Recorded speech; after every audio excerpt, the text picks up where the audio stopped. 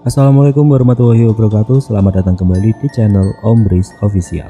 Untuk kisah kali ini ada sebuah cerita dari tulisannya Untung Prasetyo. Sebuah kisah yang berjudul Jagabaya Sebelum kita lanjut ke ceritanya tekan dulu tombol like video ini Dan jangan lupa tekan juga tombol subscribe channel ini.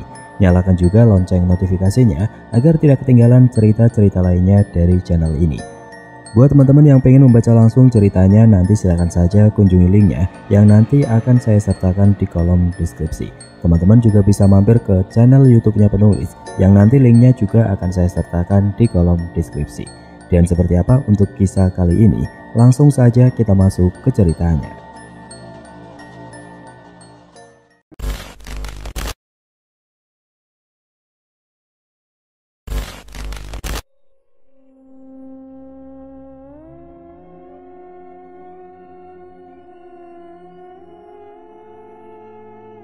Kisah Jagabaya ini diceritakan oleh Bang Rudi, yang juga mendapat cerita dari sosok Jagabaya yang kini sering mendatangi Bang Rudi untuk meminta diajarkan ilmu-ilmu pengetahuan tentang ajaran agama Islam. Ketika itu usia Jagabaya masih sekitar 13 tahun. Dan di usianya yang masih sangat muda itulah Jagabaya untuk pertama kalinya menghabisi nyawa seseorang yang menjadi kaki tangan atau mata-mata pihak penjajah. Semua berawal dari meninggalnya dua orang tua Jakabaya, yang kala itu adalah orang yang ditakuti pihak penjajah serta antek-anteknya. Ayah dari Jakabaya adalah seorang kepala kampung yang sangat berani melindungi warga desanya dari orang-orang yang datang menarik pajak. Orang-orang yang berperangai kasar itu datang setiap tiga bulan sekali untuk meminta sebagian hasil bumi yang didapat warga kampung tempat Jakabaya tinggal. Karena selalu menentang apa yang diminta oleh pihak penjajah melalui antek-anteknya yang merupakan orang pribumi, akhirnya ayah dari Jakabaya harus terbunuh di rumahnya sendiri. Beberapa peluru bersarang di tubuhnya. Setelah itu tubuhnya diseret dan digantung di sebuah pohon yang ada di depan rumahnya. Jakabaya yang mengetahui kematian tragis ayahnya pun terus mengingat tiga orang yang menjadi dalang dari eksekusi kematian ayahnya. Hari itu Jagabaya berusaha melarikan diri setelah dapat menghabisi seorang kaki tangan penjajah yang bernama Saman, yang juga ikut ambil bagian dalam proses kematian ayah dari Jagabaya sendiri. Puluhan peluru yang melesat ke arah tubuh Jagabaya pun dapat dihindarinya dalam pelariannya itu. Tapi karena banyaknya tentara Belanda dan juga orang-orang pribumi yang mengejarnya, akhirnya Jagabaya pun terdesak di tepi sebuah jurang yang dalam.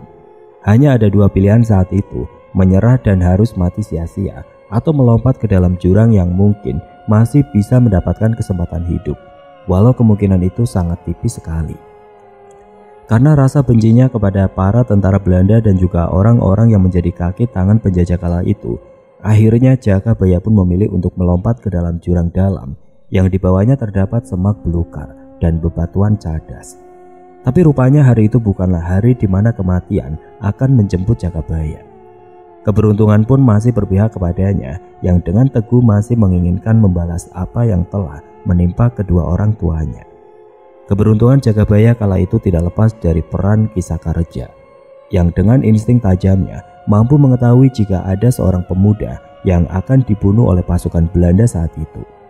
Karena dapat mengetahui apa yang akan terjadi sebelum sesuatu itu terjadi, Kisaka pun menyambar tubuh Jagabaya sebelum tubuh pemuda itu membentur bebatuan yang ada di bagian jurang tersebut.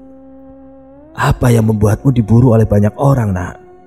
Tanya sosok Isaka yang telah menyelamatkan hidup Jaga Baya kala itu. Maaf Ki, sebelumnya saya ingin mengucapkan terima kasih karena Ki telah menyelamatkan saya. Balas Jaga Baya sambil menundukkan wajahnya. Saya telah membunuh orang yang menjadi antek penjajah Ki. Karena orang itu telah menyiksa ayah saya hingga akhirnya ayah saya meninggal dunia. Hmm. Dan sekarang mereka akan terus mencarimu, Nah. Mungkin dalam beberapa hari nanti akan ada orang yang datang ke gubuk tuaku ini untuk mencarimu. Balas Kisaka sambil mengelus jenggot panjangnya. Kalau begitu, saya akan secepatnya pergi dari sini, Ki. Saya tidak mau merepotkan Kisaka. Pergi tanpa bekal, sama saja dengan menjemput ajal, nak. Sebaiknya kau tetap di sini karena aku akan mewariskan ilmu-ilmu kebatinan dan juga ilmu kanuragan yang dapat kau gunakan untuk membantu mengusir para penjajah dari tanah pertiwi ini. Ujar Kisaka merasa yakin dengan Jaka Baya kala itu. Beberapa hari berlalu, apa yang dikhawatirkan Kisaka pun terjadi. Tiga orang berpakaian serba hitam datang ke gubuk tua milik Kisaka sambil mengacak-ngacak barang-barang yang ada di luar rumah kecil yang beratapkan jerami tersebut. Siapa pun yang ada di dalam, keluarlah atau kami akan bakar gubuk ini.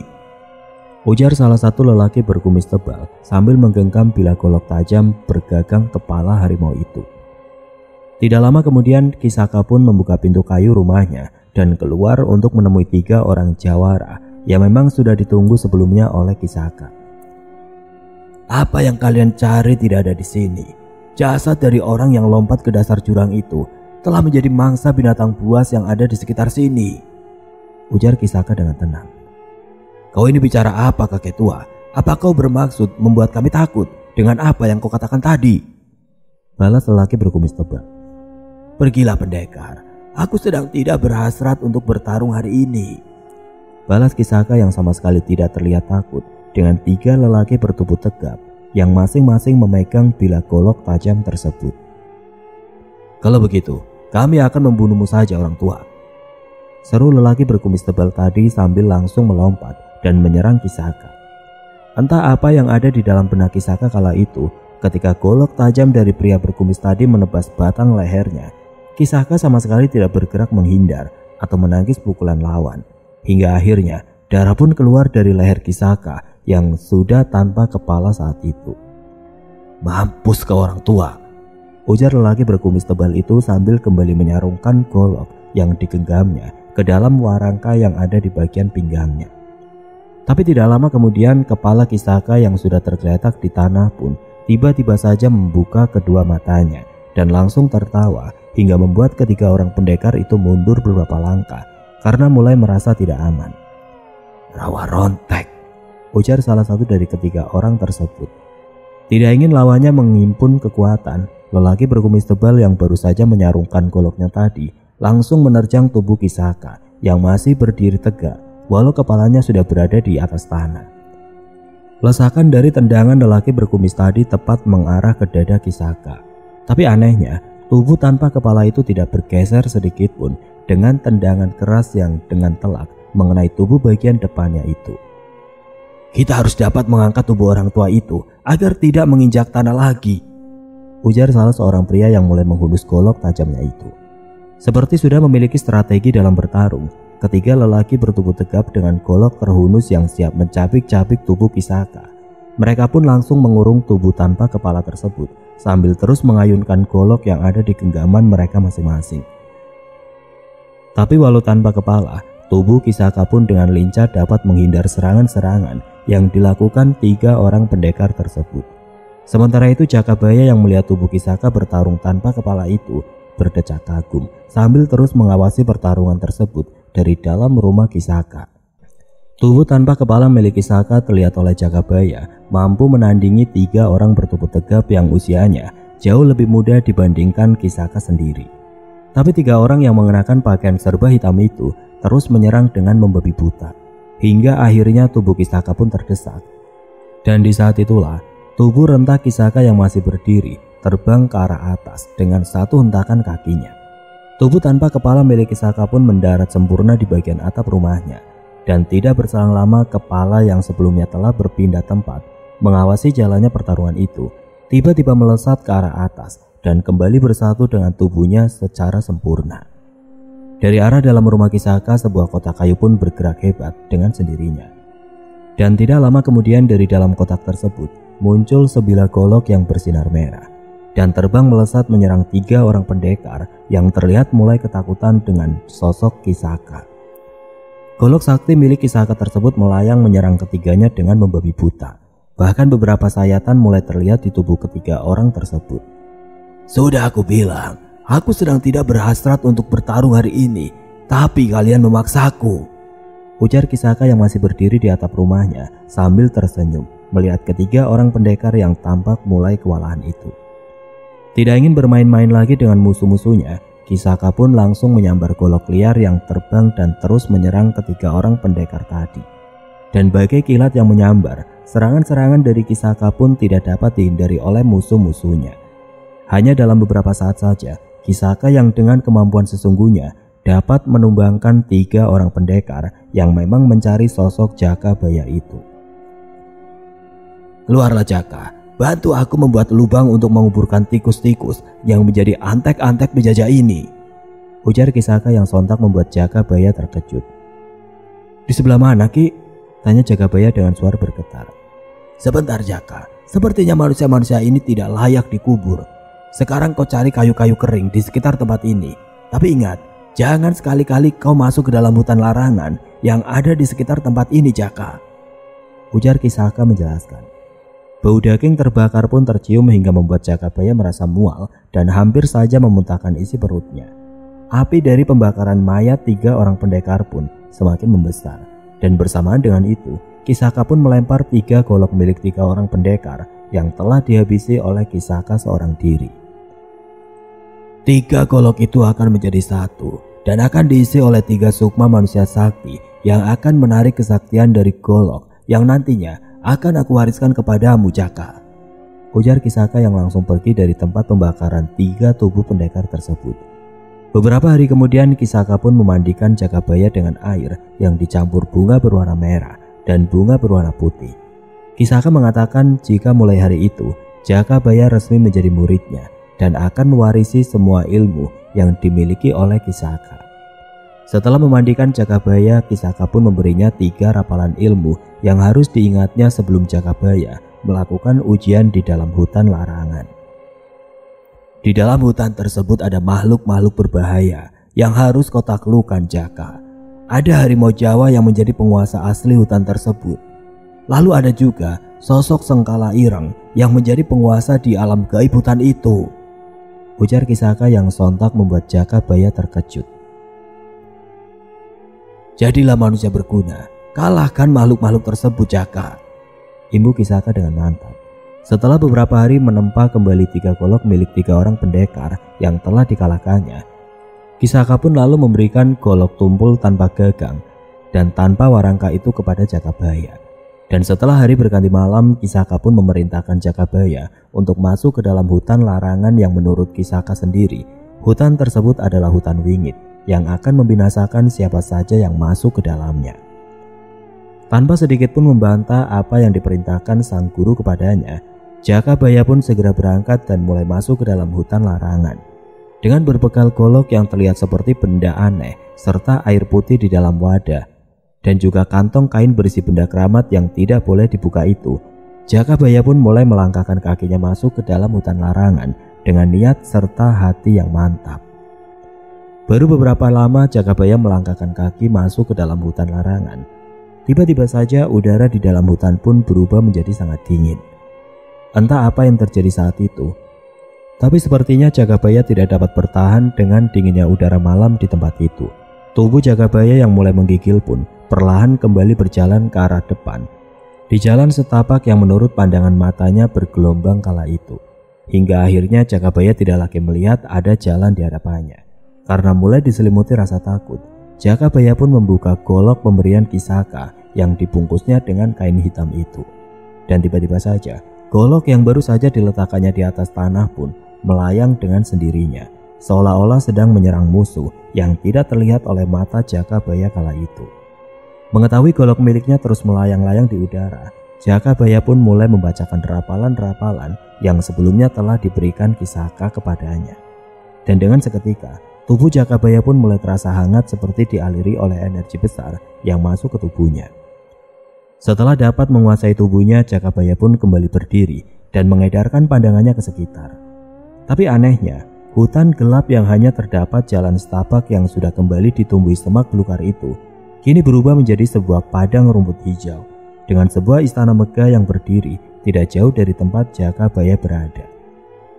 Setelah menyadari jika kini dirinya berada di alam gaib, Jakabaya pun lalu berucap dalam hatinya untuk memanggil golok yang belum sempurna miliknya itu. Setelah kembali merapal mantra aji, tiba-tiba saja Jaka melihat lesatan benda menuju ke arahnya dengan cepat. Tapi Jakabaya pun dengan cepat pula dapat menyambar golok miliknya yang sudah terlihat sempurna saat itu. golok dengan gagang berkepala burung itu terlihat sangat bagus dan sempurna di tangan Jagabaya. Tidak lama kemudian di hadapannya muncul beberapa sosok makhluk gaib yang bertubuh besar dengan mata merah menyala menghampiri Jagabaya. Kelima sosok makhluk gaib itu meminta Jagabaya untuk pergi meninggalkan daerah kekuasaan mereka saat itu.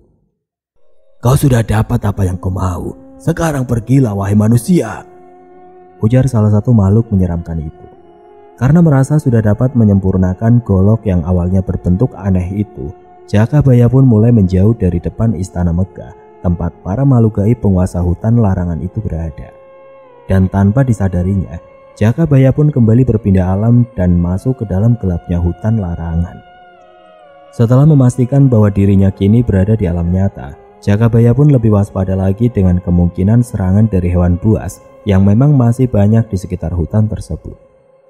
Setelah berjalan cukup jauh memasuki tengah hutan larangan, Jakabaya pun merasa sedang diawasi oleh sosok makhluk besar yang ada di sana. Dan tidak lama setelah itu, dari arah belakangnya, seekor harimau Jawa pun menerkam tubuh Jakabaya yang sama sekali tidak siap pada saat itu.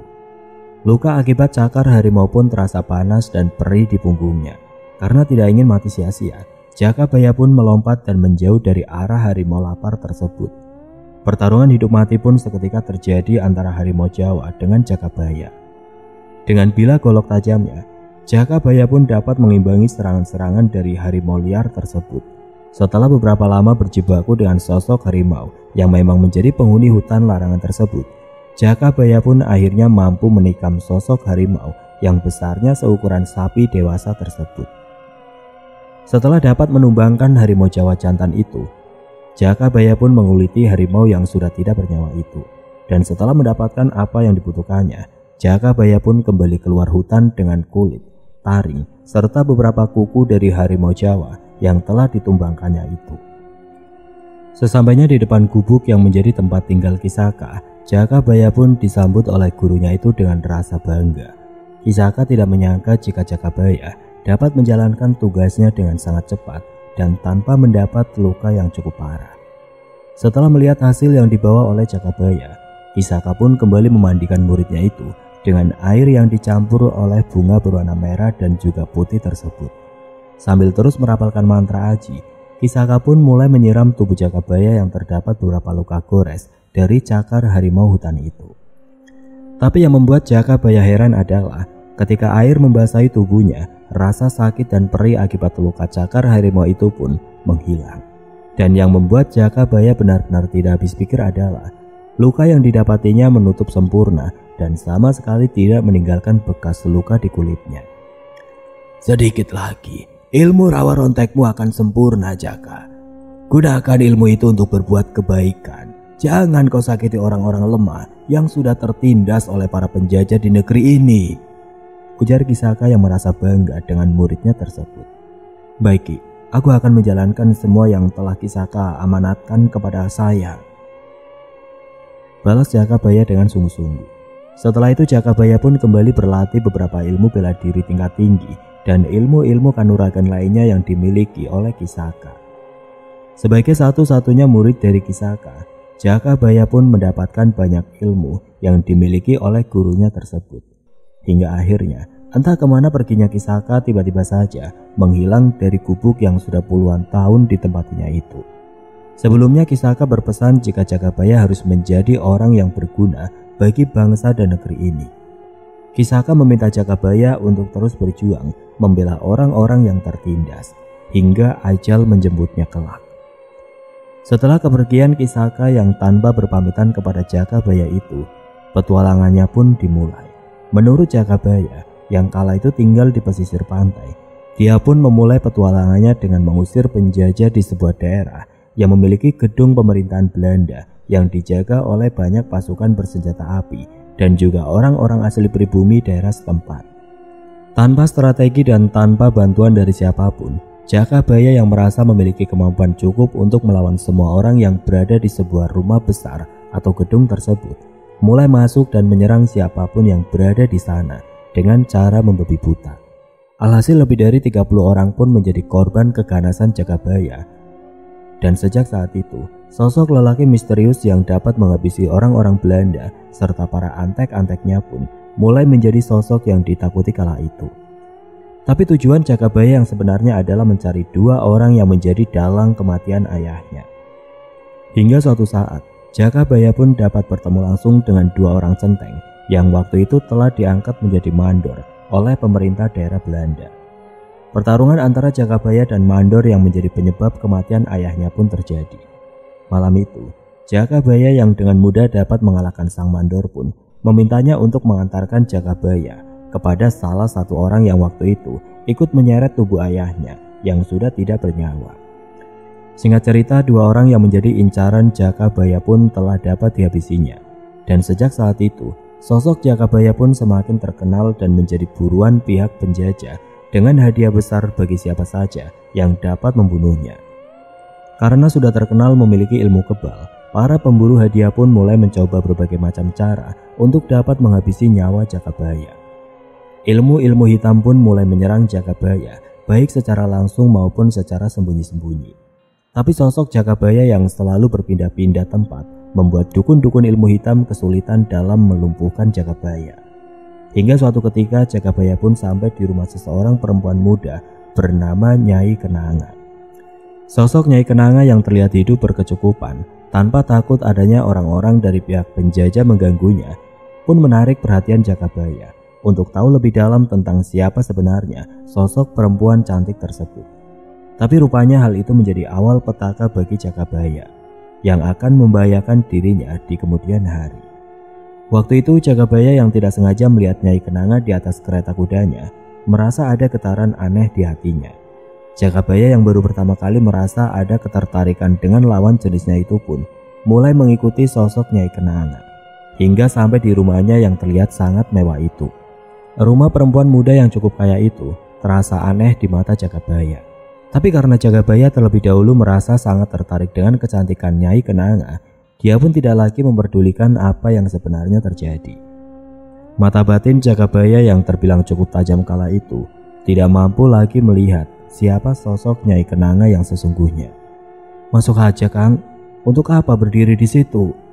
Ujar Nyai Kenanga yang membuat Jagabaya terheran-heran kala itu. Tanpa menjawab apa yang dikatakan sosok Nyai Kenanga tersebut, Jakabaya pun lalu berjalan memasuki pekarangan rumah perempuan yang telah membuat Jakabaya jatuh hati itu. Sosok Nyai Kenanga yang terlihat sangat cantik pun telah menunggu Jakabaya di beranda rumahnya.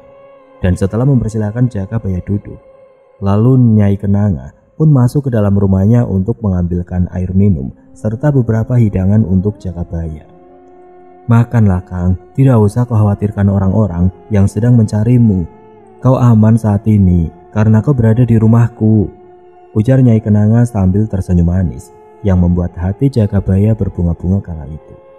Ketika Jakabaya hendak mengambil minuman di gelas yang telah disajikan Nyai Kenanga, tiba-tiba saja golok yang ada di pinggangnya bergetar, seolah-olah memberi peringatan kepada Jakabaya untuk tidak meminum atau memakan makanan yang tersaji di hadapannya itu. Selain itu tiba-tiba saja tubuh Jakabaya menjadi panas seperti terbakar. Ketika Nyai Kenanga terlihat menatap tajam ke arah Jakabaya sambil mulutnya membacakan sesuatu. Siap, ternyata ini adalah perangkap. Fisik Jakabaya dalam hatinya. Karena Jakabaya juga memiliki ilmu batin yang cukup tinggi, Jakabaya pun mulai melakukan perlawanan kepada sosok Nyai Kenanga yang perlahan berjalan mundur menjauhi Jakabaya, lalu masuk ke dalam rumah besarnya. Tidak lama berselang tiba-tiba saja muncul dua sosok makhluk gaib yang sangat menyeramkan dari dalam rumah Nyai Kenanga. Dua sosok makhluk berbulu hitam serta memiliki taring yang sangat panjang itu langsung menghardik Jakabaya hingga meja bundar yang ada di hadapannya pun hancur. Jakabaya yang sudah kembali sadar sepenuhnya mulai menghunus golok bergagang kepala burung itu lalu melesat menyerang kedua makhluk gaib tersebut. Pertarungan seimbang pun terjadi di malam yang gelap dan hanya disinari oleh sinar bulan purnama yang temaram. Adu kesaktian pun terjadi, hingga salah satu dari sosok makhluk menyeramkan yang entah siapa pemiliknya itu tersungkur dan berubah menjadi kepulan asap hitam. Melihat kawannya telah musnah, makhluk yang tampak sama pun perlahan mundur dari hadapan Jakabaya. Tapi sayangnya, sosok Nyai Kenangan memaksa makhluk menyeramkan tadi untuk kembali menyerang Jakabaya. Dan hasilnya, sosok makhluk gaib tersebut harus menyusul kawannya menjadi kepulan asap setelah golok tajam milik Jakabaya menebas tubuhnya. Ternyata kau bukan manusia sembarangan, Kang. Jangan kau sia-siakan ilmu yang kau miliki itu, Kang. Ikutlah bersamaku. Ujar Nyai Kenanga yang kembali berusaha merayu Jakabaya. Tapi belum sempat Jakabaya menjawab apa yang telah disampaikan oleh Nyai Kenanga. Tiba-tiba saja dari arah belakangnya muncul energi panas yang datang ke arahnya dengan sangat cepat. Jakabaya pun melompat hingga menembus genteng rumah Nyai Kenanga. Dan saat itulah Jakabaya baru menyadari jika dirinya telah dikepung oleh puluhan tentara penjajah yang bersenjatakan lengkap. Puluhan peluru pun mulai berterbangan ke arah tubuh Jakabaya yang berdiri sangat terbuka di atas rumah Nyai Kenanga. Dan sialnya, Jakabaya yang tidak berdiri di atas tanah pun harus merasakan sakitnya tertembus oleh puluhan peluru panas hingga tubuhnya terjungkal ke arah samping rumah Nyai Kenanga. Melihat Jakabaya terjun bebas dari atas genting, beberapa orang pun segera berlari ke arah tempat Jakabaya tersungkur. Tapi sialnya orang-orang yang ingin memastikan kematian Jakabaya pun harus kecewa ketika melihat sosok pemuda gagah tersebut berdiri tegak dengan bila golok di tangannya yang siap menebas tubuh mereka. Ya, ilmu rawa rontek yang dimiliki oleh Jakabaya pun menyelamatkan nyawanya ketika dia terjatuh dari atas genteng dan tersungkur menyentuh tanah. Karena ilmu yang dimilikinya sudah diketahui oleh musuh-musuhnya, Jakabaya pun mau tidak mau harus menghabisi semua orang yang ikut menyerangnya malam itu. Tapi sialnya ada beberapa orang yang berhasil melarikan diri, termasuk Nyai Kenanga itu sendiri. Sejak saat itulah Jakabaya mulai berhati-hati dengan orang-orang yang ditemuinya. Karena saat itu sudah banyak yang tahu tentang ilmu-ilmu yang dimilikinya termasuk ilmu rawa rontek. Tidak ingin perjuangannya terhenti, Jakabaya pun melanjutkan perjalanannya menuju ke daerah yang jauh dari pesisir pantai. Dia mulai berkelana untuk mencari orang-orang yang memiliki pemahaman yang sama untuk diajak berjuang mengusir penjajah dari bumi pertiwi itu. Apa yang diinginkan Jakabaya pun akhirnya didapatinya. Saat itu Jakabaya bertemu dengan seorang pendekar yang memiliki tujuan sama dengannya. Pendekar yang sedikit lebih tua darinya itu bernama Tirta Mulya yang merupakan keturunan dari seorang adipati yang memilih untuk menjalin kerjasama dengan pihak penjajah. Karena tidak sepaham dengan sang ayah, Tirta Mulya pun akhirnya pergi dari rumahnya dan memilih untuk mengembara sambil membantu orang-orang yang tertindas oleh kekejaman penjajah kala itu. Perjuangan Jakabaya dan Tirta Mulya pun mulai menjadi ancaman bagi para penjajah serta antek-anteknya. Hingga akhirnya dibuatlah sayembara berhadiah untuk menangkap Jakabaya dan juga Tirta Mulya hidup atau mati. Mengetahui kabar jika kepala mereka dihargai cukup tinggi, Jakabaya dan Tirta Mulya pun semakin bersemangat untuk menghancurkan pemerintahan yang ada di bawah kekuasaan pihak Belanda. Hingga akhirnya, beberapa gedung pemerintahan serta rumah milik pejabat-pejabat Belanda pun menjadi korban dari ganasnya perjuangan dua harimau Jawa tersebut. Julukan yang diberikan oleh masyarakat setempat pun sempat disalahgunakan oleh orang-orang yang berniat mengambil keuntungan sendiri. Hingga akhirnya, Jagabaya dan Tirta Mulya dapat menghabisi orang-orang pribumi yang menjadi pengkhianat bangsa, serta orang-orang yang memanfaatkan nama besarnya untuk memeras warga di daerah sekitar. Karena sepak terjangnya sudah tidak dapat dibendung lagi oleh pihak penjajah, akhirnya pihak penjajah pun mulai mengadu domba Jagabaya dan Tirta Mulya. Dua orang sahabat itu harus berpisah karena mereka sama-sama mencintai sosok gadis desa yang bernama Haryati.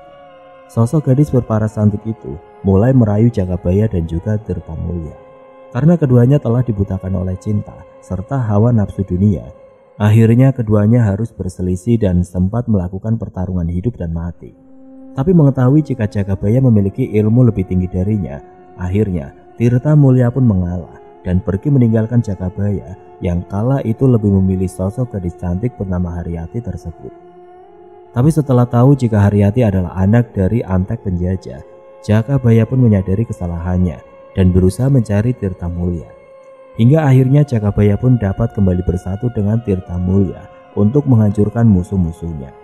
Seiring berjalannya waktu, Tirta Mulia pun memperkenalkan tiga orang pemuda yang memiliki tujuan sama dengan mereka. Dan akhirnya, Bertambahlah pejuang-pejuang bangsa dari kalangan pendekar yang siap memporak-porandakan kuatnya pemerintahan Belanda pada zaman itu. Suatu hari Jakabaya yang kala itu bersama Tirta Mulia dan ketiga teman barunya sedang merencanakan penyerangan ke sebuah gedung pemerintahan Belanda yang menjadi pusat perhatian para tentara muda Belanda di Jakarta. Pagi itu Jakabaya, Tirta Mulia dan ketiga temannya duduk di samping kedai milik warga sekitar.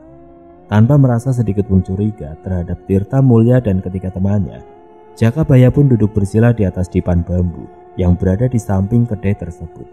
Tapi sayangnya, hari itu adalah hari terakhir dari perjuangan Jakabaya. Jakabaya yang rupanya dihianati oleh Tirta Mulya yang masih sangat menginginkan gadis pujaan hatinya yang bernama Haryati itu. Akhirnya harus meregang nyawa di tangan sahabatnya sendiri. Jakabaya yang lengah dan tidak menaruh curiga kepada Tirta Mulya pun harus meninggal dengan kepala terpenggal dan terpisah dari tubuhnya. Tirta Mulya yang pernah hidup lama bersama dengan Jakabaya pun telah mengetahui segala kelemahan dan bahkan hari naas dari Jakabaya. Dan pada hari naas itulah Jakabaya terbunuh dengan cara kejam dalam sebuah pengkhianatan. Semoga ada hikmah di balik kisah dari Jakabaya semasa hidupnya tersebut.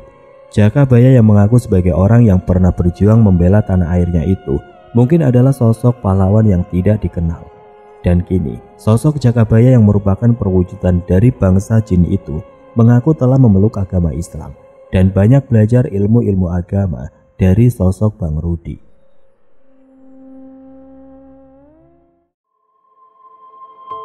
Oke teman-teman, sekian untuk kisah kali ini. Semoga apa yang sudah saya bagikan dalam kisah ini dapat dijadikan pembelajaran untuk kita semua.